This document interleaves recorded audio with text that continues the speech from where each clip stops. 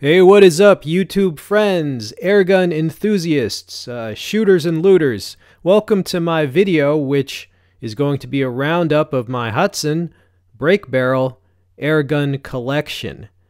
I have two 30 caliber rifles, and the rest are 25 caliber. Which brings me to my first point about this brand. They will sell you a larger caliber rifle than many other companies. You know, I'm a big fan of Gamo, but I do sometimes wish they would go up from 22. Hatsan rifles are manufactured in Turkey, and they usually get their barrels from Krupp Steel in Germany, famous steel company that also makes a lot of knife blanks for Boker, among others.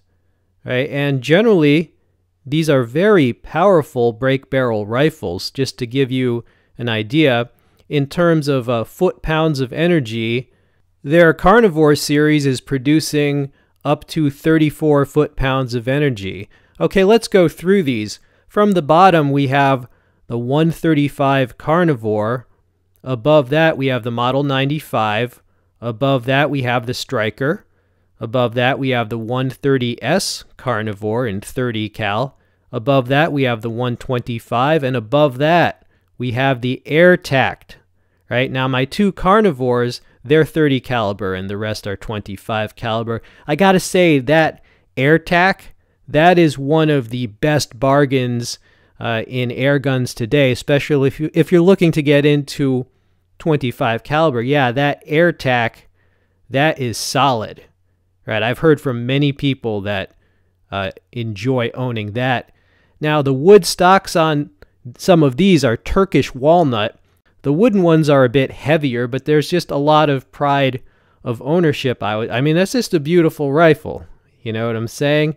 As I was saying, they um they give you 34 foot pounds of energy, which literally, if you took a 34 pound weight plate and you dropped it from a height of one foot onto like a target, like let's say a rabbit or something, that's the amount of energy dump into the target uh, however, it is much more devastating because all of that force is concentrated at the tip of the pellet, right? So, yes, these can definitely, I mean, these can take small game, medium game.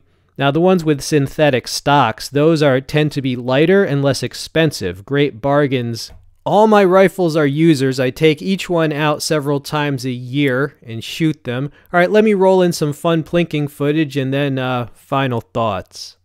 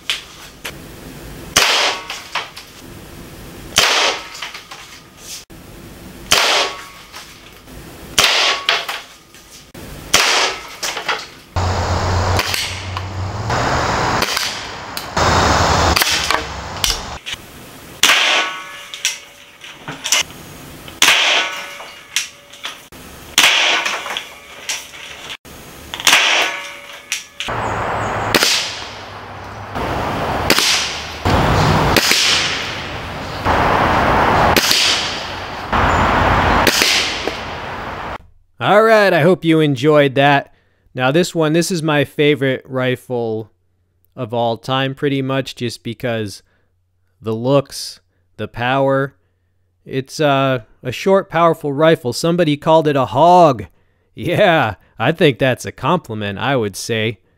You know?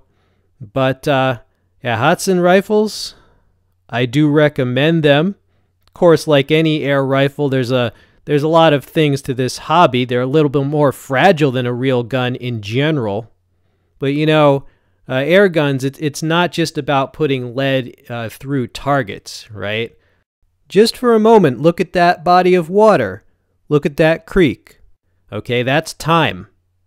That's your life, man. Flowing right on by. How are you going to live it? How are you going to spend your days?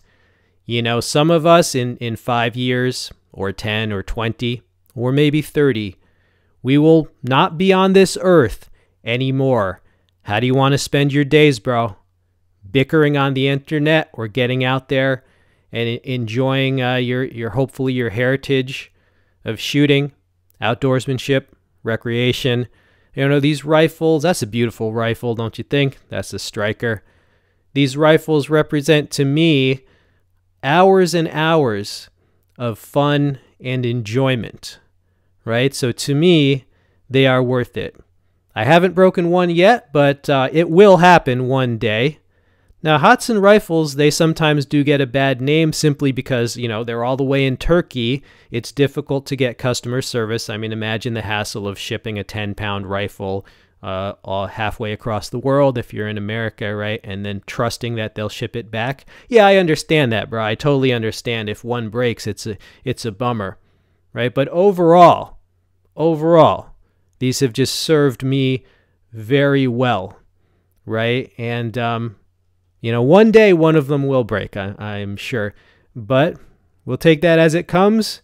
And by that time, by the time that day comes, you know, it will have been well worth it with just the hours of uh, fun and recreation and uh, uh, pest control as well that these can give you. So, all things considered, this is definitely one of my favorite brands overall.